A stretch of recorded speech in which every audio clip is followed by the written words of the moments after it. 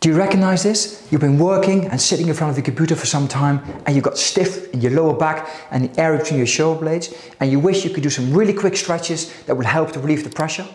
That's exactly what I've done. Not too complicated, you don't have to lay down and get move yourself in all these awkward positions. Very simple stuff you can do throughout the day which will give you immediate pain relief.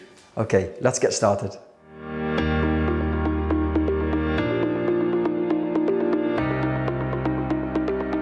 So this is the first exercise. When you've been working in the office, no doubt you're going to be stiff between your shoulder blades. This is the first exercise, a quick exercise to get some mobility into that area.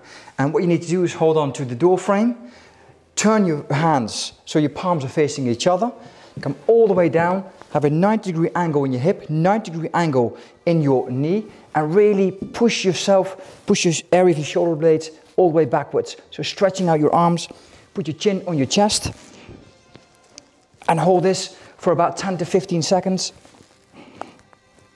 An absolutely great quick stretch to straighten that area between your shoulder blades.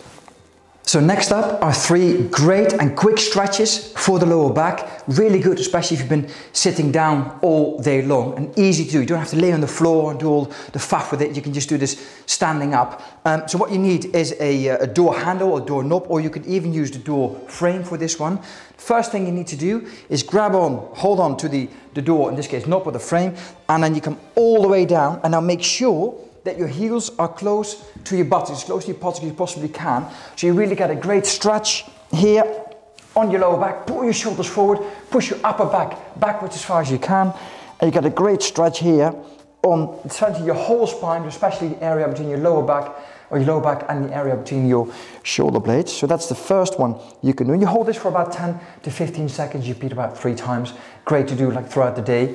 Yeah. The second stretch you can do now is a variant of this one. So again, you hold on now in this case with one, with one hand, hold the doorknob or uh, the frame with one hand. Uh, again, have your heels as close to your buttocks as you possibly can. And now what you do is my right hand, I'm rotating my right hand backwards as far as I can. Get a great stretch again in my lower back, so hold this as far as I can. Hold it again for about 10 seconds if you can. And come back again. Repeat three to five times. A quick, easy stretch you can do throughout the day. Don't forget to do the other side as well. I'm holding on with the right hand and rotating as far back as possibly can. And again, making sure my heels are as close to my buttocks as I possibly can, can have them. So it's a good exercise as well to do throughout the day. Simple, quick to do, get some mobility in that lower back.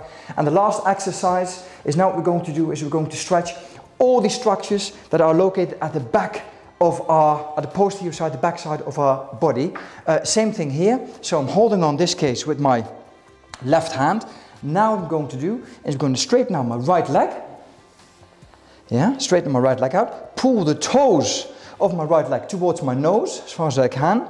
Yeah, straighten down and I'm going to bend forward a little bit. So now I've got a stretch of my lower back and I've got a stretch of my calf muscles, my hamstring muscles, and the area between my shoulder blades all at the same time. So hold on with two hands, or you can hold it with one hand, and really bend forward as well. Put your chin on your chest if you can.